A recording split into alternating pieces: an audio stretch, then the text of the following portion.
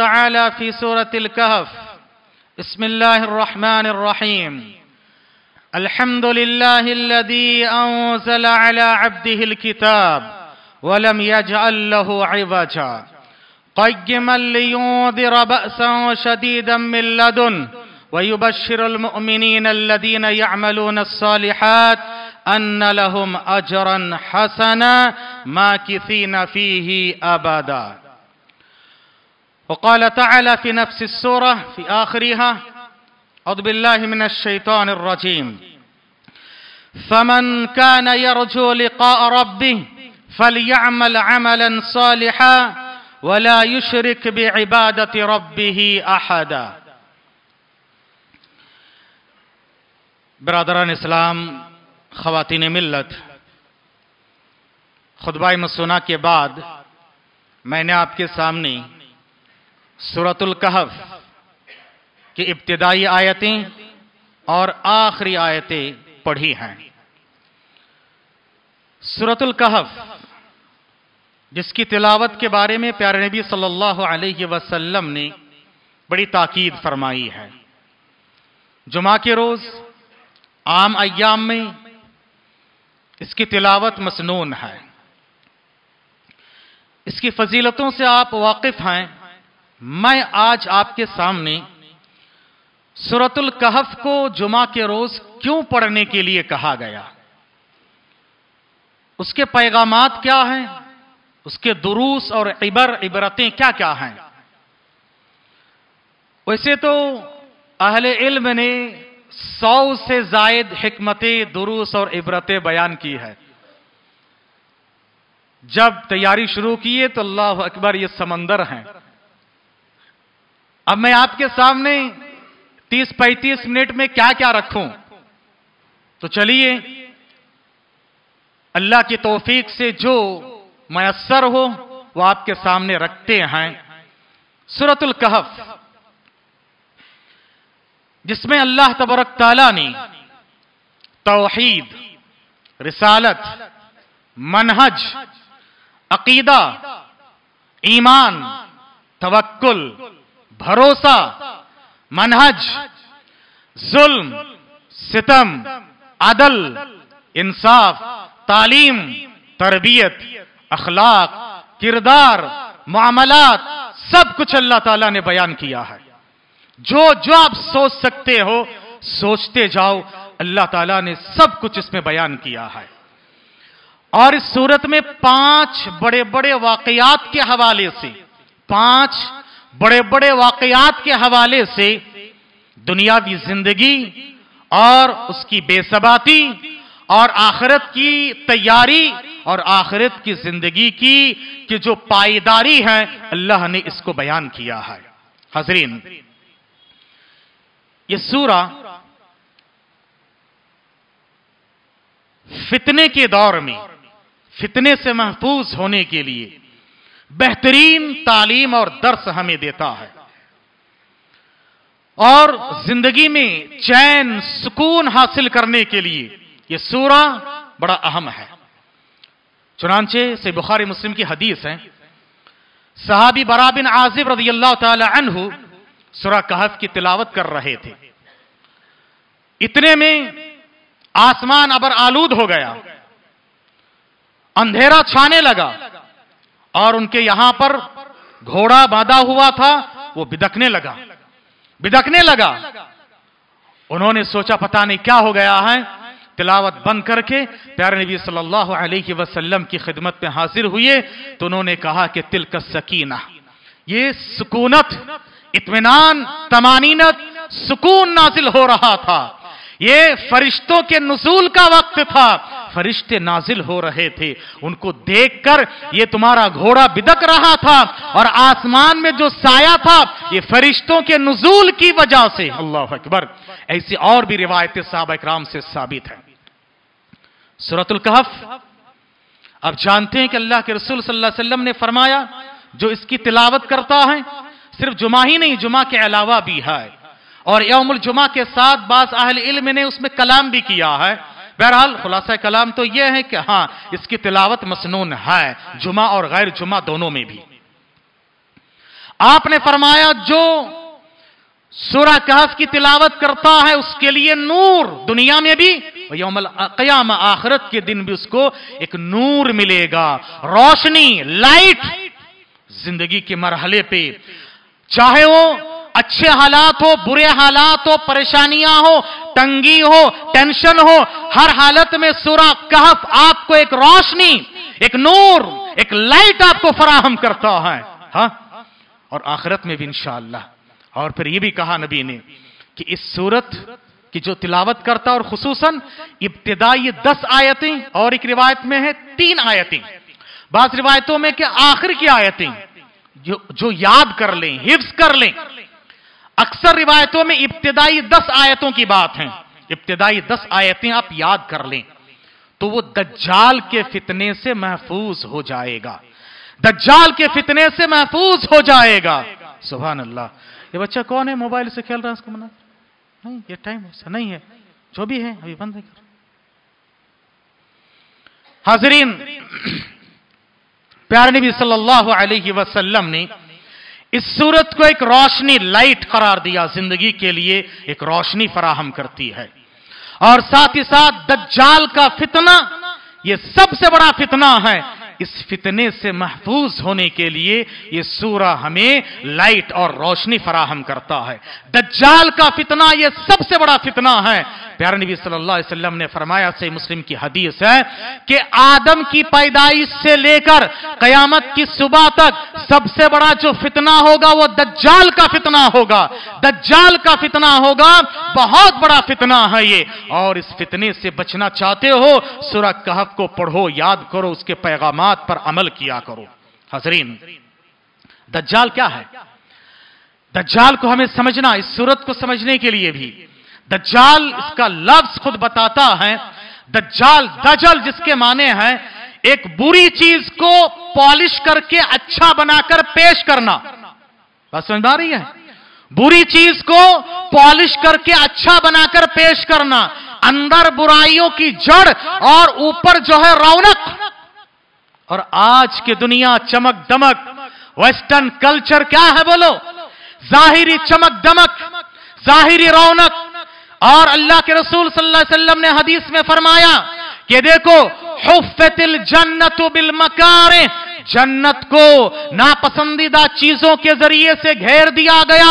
जन्नत पाना है, दुनिया में नापसंदीदा चीज़ों को कबूल करना पड़ेगा, उन पर अमल पैरा होना पड़ेगा। हुफतिन्नारो बिशहवात और जहन्नम को शहवात, यानी नफसानी ख्वाहिशात के ज़रिए से घेर दिया गया। नफसानी ख्वाहिशात की पैरवी करोगे तो याद रखो, जहन्नम तुम्हारे नसीब है और तकलीफ़ बर्दाश्त करोगे, जन्नत है। दज्जाल क्या करता है? दज्जाल कहेगा, मेरी बात मान लो, तुम्हारी हर ख्वाहिश पूरी हो जाएगी। हर ख्वाहिश पूरी हो जाएगी। आज देखो वेस्टर्न कल्चर है। ये आज जो आप देख रहे हैं, दुनिया की चमक दमक बेदीन और कुफार मुशिकीन का तौर तरीका है। क्या है इसमें? मेरा जिसम मेरी मर्ज़ी हाँ? मेरा माल में जो चाहे करूँ हाँ? खा ले पी ले जी ले हाँ? ये नारा है। ये सब नारा है, याद रखो। मतलब आप दुनिया में अपनी हर ख्वाहिश पूरी कर लो। यही दज्जाल, याद रखो। ये दज्जाली फितना है। दज्जाली फितने से महफूज होना चाहते हो तो तुमको चाहिए कि इस सूरत को पढ़ो। और दज्जाल क्या है? झूठ। ऊपर से झूठ को अच्छा बनाकर पेश करना है और अंदर कुछ और है। आज देखो ये मीडिया मीडिया के जो खरीदने वाले लोग कैसे कैसे झूठ झूठ झूठ, सारी दुनिया झूठ झूठ की पुलिंदा बन चुकी है। याद रखो, ये सब दज्जाली फरेब और फितने हैं। जो इसमें मुब्तला है, वो गोया कि अपनी आखरत को बर्बाद कर रहे हैं। मोमिन कौन होता है? अल्लाह ताला ने इस सूरत में जो पैगाम दिया, उनको देखे एक एक करके मालूम करते हैं। हाजरीन। अल्लाह ताला ने इस सूरत का आगाज़ किया, अल्हम्द से। अल्लाह की तारीफ़ हाँ? अल्हम्द से। सुरा फातिहा का आगाज़ अल्हम्द से है। अल्लाह अकबर। अजीम अजीम सूरतों का आगाज़ अल्हम्द से है। इससे पहले वाला सूरा सुरा बनी इसराइल। सुरा इसरा भी उसको कहा जाता है। उसकी आखिरी आयतों में अल्लाह ताला ने फरमाया हमद आए नबी, आप कहो कि अल्हम्द, अल्लाह के लिए तमाम तारीफें हैं। और फ़ौरन बाद इस सूरत में कहा अल्हम्दुलिल्लाह किताब। और फ़ौरन बंदा, यानी रिसालत का तस्करा है नबूत और रिसालत के साथ साथ कुरान को बताया कि ये देखो तुम्हारे लिए गाइडलाइन है। कुरान जिसमें कोई कजी नहीं कोई टेढ़ापन नहीं है। कयामत तक के लिए और याद रखो कयामत के बाद भी हाउस कौसर तक ये कुरान तुम्हारी रहनुमाई करने वाला है। नबी ने फरमाया मुसदर के हाकिम की रिवायत है। कुरान और हदीस अल्लाह ताला ने नासिल फरमाया ये दोनों जुदा नहीं होंगे। यहाँ तक कि हाउस कौसर तक पहुँच जाएँ। याद रखो इन दोनों को लाहिया ये अमल बना लो। ये मनहज है ये पैगाम है। तोहीद रिसालत के बाद आपको बताया गया कि देखो तुम्हें अपनी ज़िंदगी गुजारना है। कुरान हदीस के मुताबिक गुजारा करो। और ये कुरान क्या करता है? लियुम शदीदा एक सख्त अजाब से, एक सख्त अजाब से डराता है आपको। सख्त अजाब क्या है? बहुत बड़ा फितना है। जहन्नम का अजाब है, आखरत के मराहिल है, दुनिया का फितना है। हर तरह के फितने से ये कुरान तुम्हें चौकन्ना करता है। और मोमिनों को बशारत देता मोमिन कौन है जो नेक अमल करता है, उस पर डटे रहता है। तो आखरत में वो हमेशा हमेश जन्नत में नियमतों में रहेगा। हजरी ग्रामी इस सूरत में। ये पैगाम शुरू में दिया और आखिर में भी पैगाम दिया। फमन का नबी जो इंसान अपने रब से मुलाकात करना चाहता है, ज़िंदगी का खुलासा है लुब्बे लुबाब है तो तुम क्या करो? फमन का रबी फलियामल अमलन सालिहा। नेक अमल करो। और नेक अमल क्या है? जो तोहीद इखलास के साथ नबी के तरीके पर हो। हाँ? नबी के तरीके पर हो इखलास नीयत के साथ तोहीद अकीदा ईमान के साथ वो नेक अमल है। तो अल्लाह से मुलाकात करेगा, उसकी ज़िंदगी कामयाब है। और वला युशरिक रब्बी ही आहादा। इसका इख्तिताम हो रहा शिरक से, आगाज़ हुआ है तौहीद से। अल्हम्दुलिल्लाहिल्लदी आगाज़ तौहीद से, खातिमा शिरक से। याद रखो, तुम शिरक से बचकर तौहीद पर ज़िंदगी गुजारो। रब से मुलाकात होगी, तुम सुरकरो हो जाओगे। अल्लाह अकबर। हजरीन। उसके बाद इस सूरत में पाँच अहम वाकयात का तस्करा है। वाकयात बताने के लिए वक्त नाकाफी है। अब मेरे पास सिर्फ़ आपके लिए पंद्रह पंद्रह से बीस मिनट ही है। हसरीन इसमें पाँच जो वाकयात हैं, एक जालिम बादशाह और उसके खिलाफ डटने वाले नौजवानों का वाकया, जिसके नाम के साथ इस सूरत का नाम है असहाबुल कहफ। हाँ? उसके बरक्स देखो, एक इंसाफ पसंद बादशाह, अदल इंसाफ करने वाला बादशाह जुलकरनाइन उसका वाकया। हाँ दोनों को बयान किया है। फिर उसके बाद देखो, ये दो वाकयात हुई। फिर उसके बाद तखलीक आदम आदम सलाम को अल्लाह ने पैदा किया और फरिश्तों से, इबलीस से कहा, सजदा करो, नहीं किया। उसके बाद तखलीक आदम का और यह सारा वाकया बयान किया। चौथा वाकया है, बाग वाला एक इंसान जिसको अल्लाह ने दुनिया में बहुत नवाजा। दौलत दिया, बाग दिया इसबाब दिया, आसाइश दिया अहदा दिया, मनसब दिया, इकतदार दिया, इख्तियार दिया, सब कुछ दिया। गुरु तकबर में मुबतला। ये सब मैं अपने इससे कमाया हूँ। कहाँ आखिरत आएगी? कुछ नहीं। और अपने एक गरीब, लाचार, मजबूर जो मोमिन है, उस पर फख्र जता रहा है। हाँ एक वाकया है। और पांचवा और आखिरी वाकया, जो कि बहुत अहम है, वो है तालीम, ताल्लुम, इल्म, उलामा के ताल्लुक से है। वो है मूसा अलैहिस्सलाम और खिजर अलैहिस्सलाम का वाकया। हाँ ये पाँच वाकयात बड़े अहम है मेरे भाइयों। लेकिन आपको कितना बताएँ कि ये पाँच वाकयात आपको बताने के लिए पाँच घंटे चाहिए। और फिर दुरुस इबर चाहिए तो और एक पाँच घंटे चाहिए। आइए कोशिश करते चंद बातें मालूम करते हैं। सबसे पहले इस सूरत का आगाज़ में अल्लाह ताला ने असहाबुल कहफ का वाकया बयान किया है। तहकीकी जायजा लेने के लिए वक्त नहीं है कि नाम क्या, क्यों रखा गया, इतना मालूम करें। कहफ के माने केव। गार और कहफ में थोड़ा फ़र्क है। गार छोटा होता है, कहफ थोड़ा बड़ा होता है।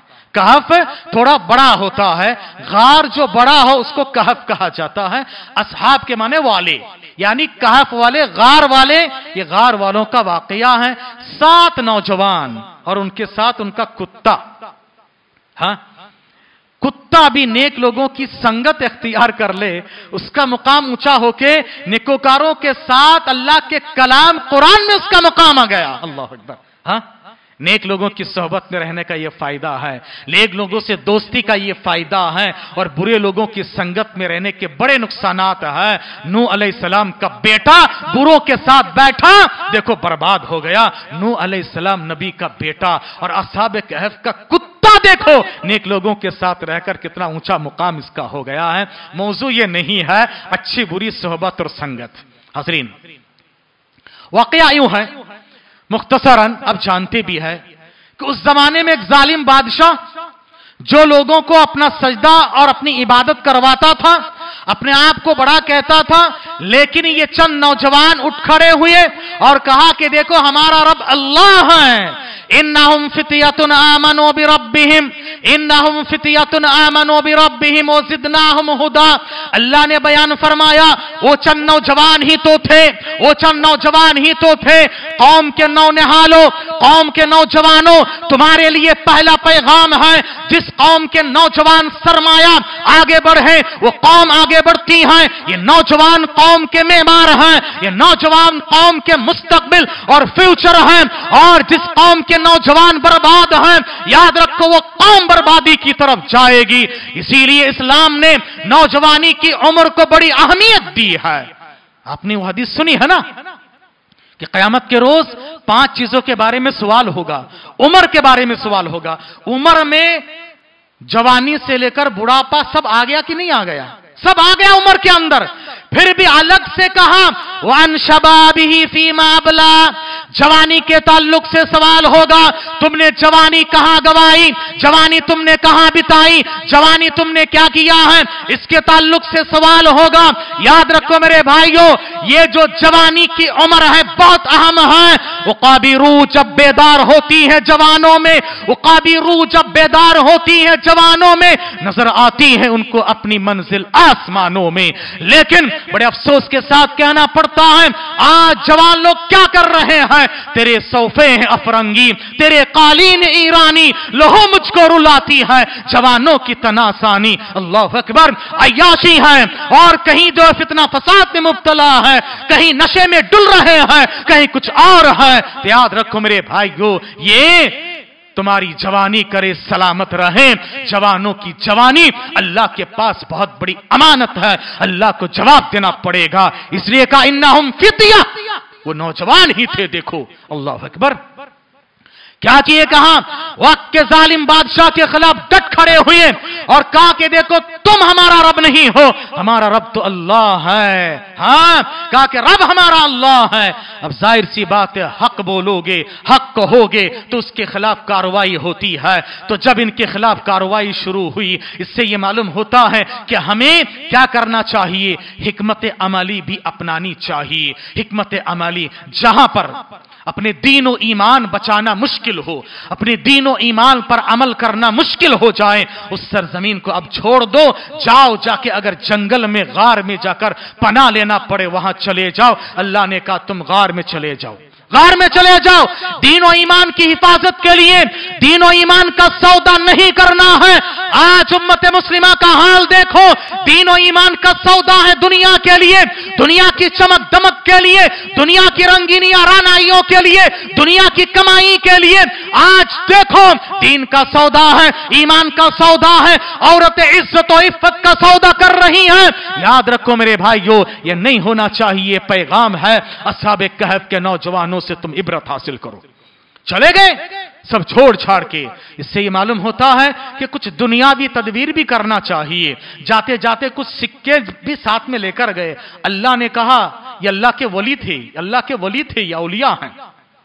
फिर भी जाहिरी असबाब को भी इख्तियार कर रहे हैं। ऐसा नहीं, अल्लाह पर हमने तवक्कुल किया। तवक्कुल इसी का नाम है, पहले तुम तदबीर करो, फिर तकदीर पे भरोसा करो। अहले इल्म इससे इस्तदलाल करते हैं, साथ में लेकर गए। गार में अल्लाह ने मोजाती तरीके से उनकी हिफाजत फरमाई। अल्लाह अकबर। सो गए। लेकिन ऐसा है कि अगर एक ही करवट सालों कितने साल थे? 309 साल। मामूली बात नहीं 309 साल। एक हालत में अगर एक करवट में लेटे रहे तो क्या होगा? ज़मीन खा लेगी तो वो करवट भी बदलते थे। हाँ। करवट बदलते थे लेकिन उनको फीलिंग भी नहीं है। सोए हुए हैं आराम से। धूप पड़े ताकि उनको उनका जिसम जल ना जाए सूख ना जाए तो अल्लाह ताला ने इससे निज़ाम बनाया था उस गार का कि उसका मुँह इस तरफ़ है इस तरफ़ है। और सूरज यहाँ से निकल के इस तरफ़ जाके गुरूब हो जाता था। यानी मशरक से तुलू होके इस तरह से जुनूब से जाके मगरब में गुरूब होता था। और ये जो शमाल का हिस्सा है खाली है। अल्लाह अकबर। और हवा पानी का भी हवा का भी इंतज़ाम किया ताकि वो सही सलामत रहे। और निगरानी के लिए अल्लाह ने कुत्ते को रखा है, कोई करीब जा नहीं सकता है। अल्लाह ने कैसे इंतज़ाम किया देखो हाँ? अल्लाह के निकोकार बंदों की अल्लाह ताला ऐसे ही हिफाजत करता है, याद रखो। तुम अल्लाह के नेक बन जाओ, वक्त का जालिम जाबिर बादशाह कुछ नहीं बिगाड़ सकता तुम्हारा, याद रखो। इसलिए तुम अल्लाह के वली बन जाओ। उसके बाद, देखो ये लोग 309 साल के बाद अल्लाह ने उनको जगाया। जगाने के बाद अब इतने साल सोए तो भूख लगी है। कहा कि जाओ भाई, ये सिक्का ले जाके बाज़ार से कुछ लेकर आओ। दुकान में जाओ और जरा छुपचे छुपाते जाना। हाँ ओलिया तलत्तफ, छुपते छुपाते जाना। ये लफ्ज कुरान का सेंटर है। कुरान के जो है सेंटर है, इसीलिए उसको बोल्ड किया हुआ होता है। ओलिया तलत्तफ हाँ? कुरान के सेंटर में है ये ये वर्ड। कहा कि देखो, जाते जाते, बचते बचाते जाना, तदबीर करो, हिफाजत करो, कोई देख ना ले। इससे क्या मालूम होता है? अलिया उल्ला आलिमुल गैब नहीं होते हैं। उनको पता नहीं कितनी हुकूमतें बदली है। 309 साल हो चुके हैं। अभी तक उनको पता नहीं है। यही तो हम सुबह में आए थे, शाम का वक्त हो रहा, दिन का थोड़ा हिस्सा है, बता रहे हैं नहीं? ये देखो, अल्लाह अकबर, इतना हिस्सा कह रहे हैं। उसके बाद गए जाके सिक्का दिए, दुकानदार ताज्जुब किया, कहाँ से आए, किधर आए? सब पता चल गया। उसके बाद वो हुकूमत बदली, वो जालिम बादशाह गया। याद रखो, ये नेक लोग वहाँ से रुखसत हुए। अब जालिमों का कला कमा हुआ। नेक लोग रुखसत हुए। याद रखो, जालिम बादशाह हो। अगर तुम नेक लोगों को साफ़ करोगे, नेक लोगों के यहाँ से भगाओगे, याद रखो, तुम्हारी शामत आ गई है। तुम्हारी बर्बादी तुम्हें दावत दे रही है। ये नेक लोग गार में चले गए। जालिम बादशाह की हुकूमत, उसका इकतदार और इख्तियार भी खत्म हो गया चंद दिनों में बादशाह बदल गई, नेक लोगों की तोहिद परस्तों की अब हुकूमत आ गई। हसरीन ये जो वाकया है, बड़ा अहम वाकया है। फिर उसके बाद ये लोग, पता चल गया, अभी तोहिद परस लोग थे। फिर दोबारा गार में गए, अल्लाह ने उनको मार दिया और गार ही उनके लिए गोया के कबर बना दिया गया। इस तरह से इनका ये वाकया खत्म होता है। इसमें तवक्ल भरोसा, अल्लाह अपने निकोकार लोगों की हिफाजत करता ये सारे वाकयात पिन्हा है। ज़्यादा तफसील में जाने के लिए मेरे पास वक्त नहीं है। ये एक जालिम बादशाह का वाकया। अल्लाह ने अंजाम तक पहुँचाया, निकोकारों की हिफाजत फरमाई। अब आओ उसके मुकाबले में। जुलकरनाइन का वाकया, जो अल्लाह तला ने सूरत के आखिर में बयान किया है। जुलकरनाइन का वाकया कि जुलकरनाइन के बारे में लोग पूछते हैं। इस सूरत के सबब नजूल के ताल्लुक से अहल इल्म लिखते हैं कि मक्के के कुफार ने उनके पास इल्म नहीं, नहीं था ना मुशरक एकदम अकीदे के एतबार से दीन के एतबार से जाहिल होता है। हाँ याद रखो। मुशरक दीन और अकीदे के एतबार से जाहिल होता है। उन्होंने क्या किया? मदीने के यहूद के पास चंद लोगों को भेजा। हमारे पास एक नबी आया, ऐसे ऐसे कह रहे हैं, क्या ख्याल है तुम्हारा? तो यहूद ने कहा, तीन सवाल करो उनसे। अगर ये दो का जवाब दे, एक का जवाब ना दे तो नबी बरहक है। कहा कि इनको जुलकरनाइन के बारे में सवाल करो, रूह के बारे में सवाल करो असाब कहब के बारे में सवाब करो, सवाल करो। असाब कहब जुलकरनाइन का जवाब वो दे देंगे। रूह के बारे में जवाब नहीं दे सकते हैं। इससे पहले वाला सूरा सूरा बनी इसराइल में रूह के ताल्लुक से है। वह यस अलून का अन रूह। और रूह का मामला, कुल रूह मिन अमर रब्बी, अल्लाह के सिवा कोई नहीं जानता। इसका जवाब कोई नहीं दे सकता। आज तक भी नहीं, कयामत की सुबह तक रूह के बारे में कोई कुछ नहीं कह सकता है। आज मेडिकल साइंस इतने आगे बढ़ चुकी है। इंसान के जिस्म के पुरसे पुरसे की तहकीक हो रही है। रूह के बारे में कोई तहकीक है? नहीं। कुल रोह मिन अमर रब्बी। जुलकरनाइन के बारे में इसकी बड़ी ताकीक आई हुई है। सबसे बेहतरीन इसकी ताकीक करने वाले इमामुल हिंद और आज़ाद इंडिया के पहले एजुकेशन मिनिस्टर मौलाना अबुल कलाम आज़ाद ने उनकी तफसीर तर्जुमानुल कुरान में बेहतरीन तफसीर बयान की। अरब के लोग भी उनका हवाला देते हैं हाँ। बेहतरीन तफसीर। लोग कहते हैं कि सिकंदर आज़म, जिसको अलेक्जेंडर द ग्रेट कहा जाता है, वो है जुलकरनाइन नहीं, ये गलती नहीं करना। सिकंदर आज़म मुसलमान नहीं था। हाँ मुसलमान नहीं था, ईमान वाला नहीं था, सही अकीदा वाला नहीं था। अलेक्जेंडर जो है, आज़म वो नहीं था। याद रखो, और यहाँ जुलकरनाइन एक इंसाफ पसंद, अदल इंसाफ वाला और एक ईमान वाला, तकवे वाला, तोहीद वाला इंसान और बादशाह था हाँ। जुलकरनाइन को अल्लाह ताला ने वो सलाहियत और काबिलियत दी कि वो मशरक से मगरिब, सारी दुनिया की चक्कर काटा, शमाल से जनूब सारी दुनिया घुमा फिरा, अल्लाह ने उसको ताकत दी थी। मुख्तलिफ़ कौमों को देखा, सबकी हालत को बयान किया है, लेकिन खास तौर से एक जुल्म का खातिमा। बादशाहों को बादशाह इसलिए बनाया जाता है, ताकि वो जुल्म का खातिमा करें, किसी पर जुल्म ना करें। हाँ याद रखो, ये मकसद होता है, और जुल्म इंसान के जिस्मो जान पर भी होता है। जुल्म इंसान के माल पर भी होता है। जुल्म इंसान की इज़्ज़त आबरू पर भी होता है। अल्लाह ने आपको हुकूमत दिया ओहदा दिया, मनसब दिया, इख्तदार दिया, इख्तियार दिया है। तो आप किसी के जिसम जान पर भी जुल्म मत करो, किसी के माल पर भी जुल्म मत करो, किसी की इज़्ज़त आबरू पर भी जुल्म मत किया करो। हाँ? उसके बाद देखो कि पहुँचते पहुँचते जब एक कौम के पास पहुँचे, उनकी जबान भी अजीब थी। फिर भी वो कोशिश करके आके कहा कि याजू जो माजूज एक कौम है, जो बड़े फितना और फसाद मचाती है, हमें तंग करके रख दिए हैं, पहाड़ के उस तरफ़ से आती है। ये जो सुरंग है, बीच में ये जगह है, यहाँ से आते हैं। अल्लाह ने ऐसा निज़ाम किया कि आजू जो माजूज चारों तरफ़ से पहाड़ में बंद है। एक छोटा सा रास्ता है। वहाँ से आके फितना फसाद मचाते हैं। हमारी मदद कीजिए। कहा कि ठीक है, मैं मदद करूँगा। आप भी सपोर्ट करो। जो तुम्हारे पास है, मेटल जो भी है, वो सब लेकर आ जाओ। सोना, चांदी, लोहा, जो भी है लाओ। और सबको पिघलाने के बाद उसमें बंद बना दिया, उसमें डाल दिया और उस रास्ते को बंद करके जुल्म का खातिमा किया। जुल्म का खातिमा किया। ये देखो एक एक इंसाफ पसंद बादशाह ने जुल्म का खातिमा किया है। और अल्लाह अल्लाह ने उनको ऊँचा मुकाम मरतबा दिया।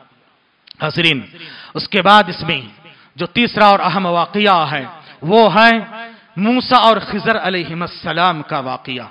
मूसा वक्त के बहुत बड़े नबी, सही बुखारी की हदीस है, सही मुस्लिम में भी है, कि मूसा सलाम से किसी ने पूछा कि रूए ज़मीन पे सबसे बड़ा इल्म वाला कौन है? मूसा सलाम ने कहा, मैं। गलत नहीं है जवाब। गलत नहीं। नबी वक्त के सबसे बड़े इल्म वाले होते हैं, हा? गलत नहीं है। लेकिन फिर भी फिर भी याद रखो, अल्लाह ताला को ये अदा मैं ये पसंद नहीं आया। मैं ये पसंद नहीं आया, हा? तो इसमें क्या होता? अल्लाह ताला पसंद नहीं करता मैं आना आना मैं मैं मी, उई, आई। आई, ये आई आई आई, आना, मी, ये पसंद नहीं अल्लाह को। हाँ? मैं करूँगा मैं करूँगा, मैं लाऊँगा, मैं दिखाऊँगा, ये ये। याद रखो मेरे भाइयों, ये अल्लाह को पसंद नहीं है। जबकि मूसा सलाम हक पर कहा उसके बावजूद भी कि बड़े लोगों की छोटी सी गलती भी बड़ी होती है। याद रखो, क्या है? बड़े लोगों की छोटी सी गलती भी बड़ी होती है। छोटे लोगों की बड़ी गलती भी छोटी होती है। बात समझ में आ रही है? हाँ? बड़े आदमी आप तो आपकी छोटी गलती भी बड़ी है। आपको बड़ा रोल अदा करना चाहिए। हजरीन, उसके बाद क्या हुआ? अल्लाह ताला ने कहा कि मूसा, तुमसे भी बड़े इल्म वाले एक हैं। वो कौन है?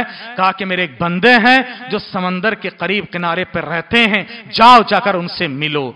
अब यहाँ पर कुछ विदाती लोग कहते हैं कि वली का मुकाम नबी से बढ़ के हैं। नबी मूसा है और खिजर वली है। मूसा से कहा गया कि तुम खिजर के पास जाके इल्म हासिल करो, क्योंकि उनके पास इल्म लदुन, का उनके पास इल्म लदुन्नी है। इल्म लदुन्नी क्या है? ये धोखा देते हैं लोगों को। हा? लदुन के माने फ्रॉम, तरफ़ से, अल्लाह की तरफ़ से। अल्लाह की तरफ़ से इल्म तो नबी को भी है, इनको भी है। और राजे कौल याद रखो। शेख बिन बाज और दीगर किबार उलामा का ये फतवा है और कुरान के जा, जाहिरी जो अल्फाज से ये पता चलता कि खिजर भी नबी थे। राज कौल ही है खिजर भी नबी थे अलैहिस्सलाम तो एक नबी को एक नबी के पास भेजा। हाँ खिजर के पास जुल्म है वो मूसा के पास नहीं है। मूसा के पास जो है खिजर के पास नहीं है। अल्लाह ने एक एक को एक मुकाम दिया है। बहरहाल गए और जाने के बाद उनके वाकयात आप जानते हैं। यहाँ पर याद रखो मेरे भाइयों गुरूर और तकबर अल्लाह ताला को पसंद नहीं है। चाहे वो गुरूर इल्म का हो, चाहे वो गुरूर दौलत का हो, चाहे वो गुरूर ताकत का हो, चाहे वो गुरूर ओहदा और मनसब का हो, चाहे वो गुरूर लोगों के सपोर्ट का हो, चाहे वो गुरूर अपने हुस्न जमाल का हो, चाहे वो गुरूर आलो औलाद का हो, किसी भी तरह के गुरूर अल्लाह ताला को जरा बराबर भी पसंद नहीं है। मेरे मोहतरम दोस्तों बुजुर्गो, भाइयों, इसीलिए मूसा सलाम को वहाँ भेजा गया और मूसा सलाम उनके पास पहुँचे। सबसे पहली शर्त रखें, इल्म हासिल करना तो सबर करना है। इल्म हासिल करना, सबर करना है। सबर के बगैर कोई आदमी बड़ा नहीं बन सकता है। छोटी छोटी बातों में कमेंट किए छोटी छोटी बातों में रिएक्शन किए छोटी छोटी बातों में आपने कुछ कर दिया छोटी छोटी बातों में कुछ हो गया, और जब बच्चा पढ़ने से पीछे हो गया, याद रखो मेरे भाइयों, ऐसा आदमी आगे नहीं बढ़ सकता है। सबर बहुत ज़रूरी है, और उसके बाद के वाकयात तो बेशुमार है। अब मैं, वक्त नाकाफी है, इसको मैं इंशाला आगे नेक्स्ट फिर किसी जुमा में आगे बढ़ाना चाह रहा हूँ, चाह रहा हूँ, क्योंकि इस वाकियत में हमारे लिए बेशुमार दर इबरत की बातें हैं, और उसके अलावा भी और भी जो दो हैं, हम दुआ करेंगे अल्लाह तबरक तला से कि अल्लाह तबरक तला हमें और आपको इन वाकयात और सुरा कहफ के पैगाम को समझने और हमें सुकून से पढ़ने की भी तोफ़ी अता फरमाए। इन पर अमल करने के अल्लाह ताली हमें और आपको तोफ़ी अता फरमाए। आमीन।